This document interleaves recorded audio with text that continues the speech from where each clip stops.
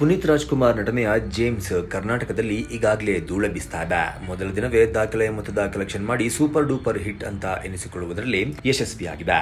James cinema ಕರ್ನಾಟಕದಲ್ಲಿ ಮಾತ್ರ ಅಲ್ಲ, ವಿದೇಶಗಳಲ್ಲಿಯೂ ಸದ್ದು ಮಾಡ್ತಾ ಇದೆ. ಸಿನಿಮಾ ಬಾಕ್ಸ್ ಆಫೀಸ್ ವಿಶ್ಲೇಷಕ ರಮೇಶ್ ಬಾಲ ನೀಡಿರುವ ಮಾಹಿತಿಯಂತೆ, ಕನ್ನಡದ ಸಿನಿಮಾ ಜೇಮ್ಸ್ ಅರಬ್ ದೇಶಗಳಲ್ಲಿ ಹಾಲಿವುಡ್ ಸಿನಿಮಾಗಳನ್ನ ಹಿಂದಿಕ್ಕಿ ಹೆಚ್ಚು ಗಳಿಕೆ ಮಾಡ್ತಾ ಇದೆ.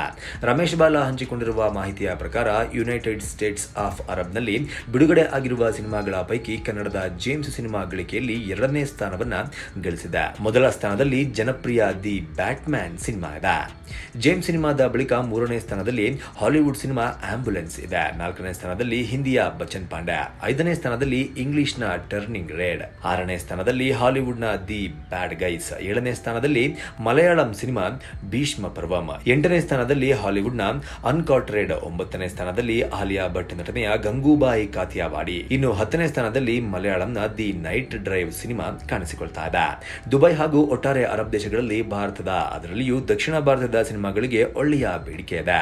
ಆದರೆ ಇತರ ದಕ್ಷಿಣ ಭಾರತ ಸಿನಿಮಾಗಳಿಗೆ ಹೋಲಿಸಿದರೆ ಕನ್ನಡ ಸಿನಿಮಾಗಳಿಗೆ ಬೇಡಿಕೆ ತುಸು ಕಡಿಮೆಯೇ ಇತ್ತು. ಆದರೆ ಇದೇ ಮೊದಲ ಬಾರಿಗೆ ಕನ್ನಡದ ಜೇಮ್ಸ್ ಸಿನಿಮಾ ಗಳಿಕೆಯಲ್ಲಿ ಟಾಪ್ ಎರಡರ ಸ್ಥಾನಕ್ಕೆ ಏರಿದ್ದು ಒಳ್ಳೆಯ ಸಂಖ್ಯೆಯ ಪ್ರೇಕ್ಷಕರನ್ನ ಚಿತ್ರಮಂದಿರಕ್ಕೆ ಕರೆತರ್ತಾ ಇದೆ. ಜೇಮ್ಸ್ ಸಿನಿಮಾ ಭಾರತದಲ್ಲಿ ಮಾತ್ರವಲ್ಲ, ವಿದೇಶದಲ್ಲಿಯೂ ದೊಡ್ಡ ಸಂಖ್ಯೆಯಲ್ಲಿ ಬಿಡುಗಡೆ ಆಗಿತ್ತು ಆಸ್ಟ್ರೇಲಿಯಾ, ಅಮೆರಿಕ ಯುಎಇ, ಬ್ರಿಟನ್, ಇತರೆ ಯುರೋಪ್ ದೇಶಗಳಲ್ಲಿಯೂ ಸಿನಿಮಾ ಬಿಡುಗಡೆಯಾಗಿತ್ತು. ಬ್ರಿಟನ್ನಲ್ಲಿ ಐವತ್ತಕ್ಕೂ ಹೆಚ್ಚು ಚಿತ್ರಮಂದಿರಗಳಲ್ಲಿ ಬಿಡುಗಡೆ ಆಗಿದೆ. ಕನ್ನಡ ಟಾಕೀಸ್ ಬೆಳಗದವರು ಯುರೋಪ್ನ ಎಲ್ಲಾ ದೇಶಗಳಲ್ಲಿ ಸಿನಿಮಾ ಬಿಡುಗಡೆ ಮಾಡಿದ್ದಾರೆ. ಸಿಂಗಪುರ್ನಲ್ಲಿ ಸ್ಯಾಂಡಲ್ವುಡ್ ಎಂಟರ್ಟೈನ್ಮೆಂಟ್, ಸಿಂಗಾಪುರ್ ಅವರು ಜೇಮ್ಸ್ ಅನ್ನ ಅಲ್ಲಿ ಬಿಡುಗಡೆ ಮಾಡಲಿದ್ದಾರೆ.